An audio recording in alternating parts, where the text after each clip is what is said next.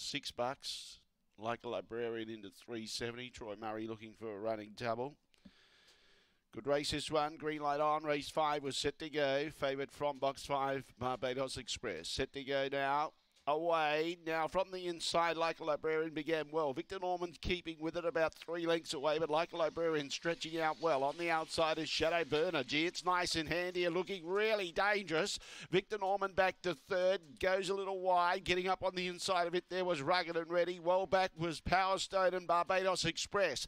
In front, like a librarian. Coming at it though is Shadow Burner. Gets within a length and a half and reducing the margin. Behind those, Victor Norman, Rugged and Ready. Well back was Power Stone and Barbados Express. Shadow Burner looms up on the outside, goes to the lead, and Shadow Burner wins. Second, Victor Norman. Third placing, a librarian behind those Power Stone. Barbados Express couldn't get warm with the pressure up front.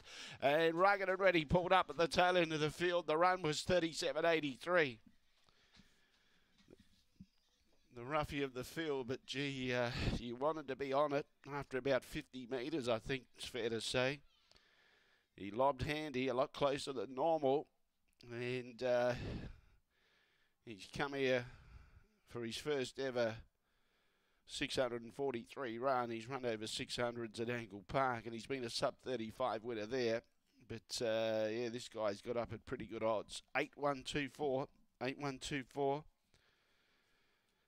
8124, the judge's numbers, 3783 was the time one and a quarter by two and a quarter, one and a quarter by two and a quarter. A Brindle Dog, April 2018, were burned out of She's a Nitro.